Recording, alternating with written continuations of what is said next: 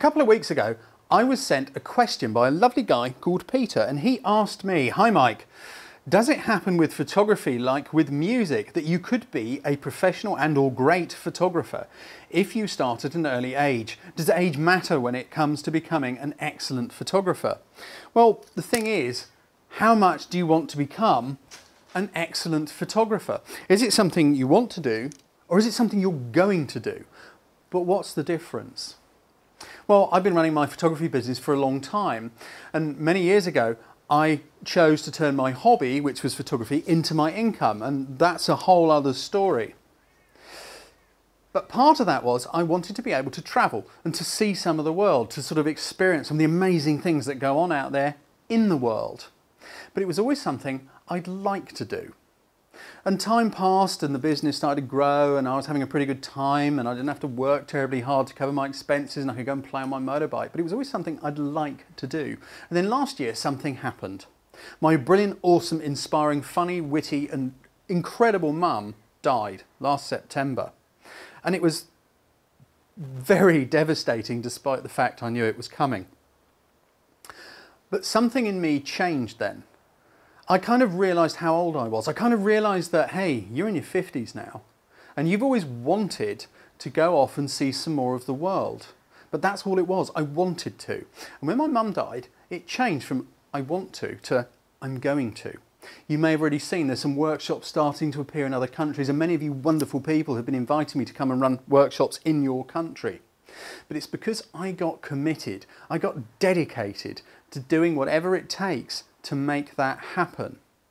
Now, whether that's in what sort of photos you want to take, do you want to take great, amazing pictures? Well, you need to become dedicated to doing it. And that means giving yourself the time. It means dedicating time to doing it. Not sort of saying, okay, I've watched all these watched all these videos on YouTube that Mike does or that Serge does or that many of the other awesome photographers, photographers put out there into the world or going on courses. You have to become dedicated to giving yourself time to go and put into action the things that you've been taught about. Last year, I was teaching at a local night school. I was just teaching uh, adult education to a bunch of people who were paying a fairly reasonable fee to come on a uh, photography course and it was for the college. This wasn't me doing it at the college. This was I was employed by the college to do it for a short time. But something which really amazed me was that I would give people some homework to do, which uh, was associated with the lesson that we'd just done. And then the following week, quite a large percentage of people would say, I didn't have time this week. Or I could see that they had sort of come home and they've maybe got half an hour before they jump in the car because they've got to go and they've sort of done the homework because Mike might grizzle at them. Well, I don't mind if they do the homework or not, and I don't mind if you guys do the homework or not. I don't mind what you do, so long as you're happy. But here's the key. If you want to take excellent photographs or maybe become a professional photographer, you've got to do the homework. You've got to put in the hours. You've got to dedicate some time to doing stuff. You have to get out there and practice and get experience. Now, when I say dedicate and, and put time into it, you know what time you can dedicate to it. I mean, when I dedicated time to becoming a professional photographer, I did it in a slightly unusual way, as in I went on income support. I told my local uh, uh, employment services office what I was doing because I didn't want any trouble. I wasn't going to sort of like try and defraud anyone.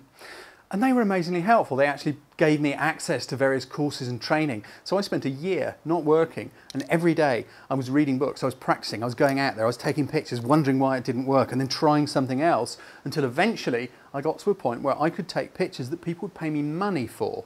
And that was an amazing feeling. But it's within the dedication so whatever that may look like for you, now that could be maybe an hour a week, because I know normal people, they have jobs to go to every day, they have to pay their mortgage, they have to pay their rent, they have to pay their electricity bills and all that kind of stuff. They possibly got kids, now they're mega expensive things to own, aren't they?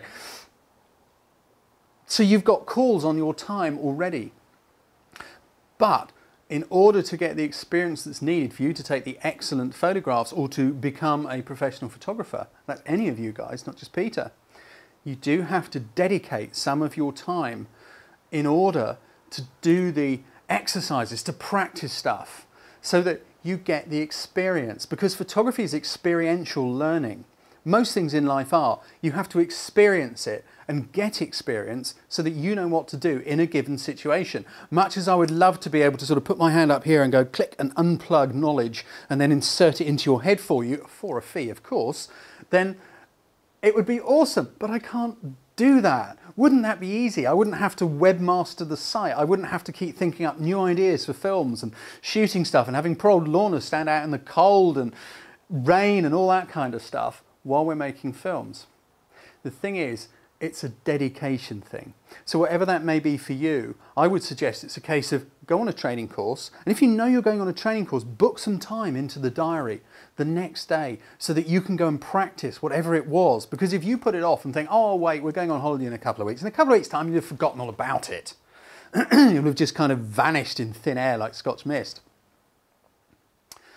If you watch a video on YouTube, one of my videos, make some notes maybe, go outside and then practice that and keep practicing that and dedicate time to it until you have your head around that particular technique or building block as I like to call them. There's a whole new course coming on that fairly soon. because that's where you are going to get the knowledge you need to be fulfilled as a photographer and become excellent and or professional. Subscribe to our YouTube channel to be notified each time we upload one of our cool photography videos, or for more great photo tips, workshops and training, come and see us at our website, photographycourses.biz.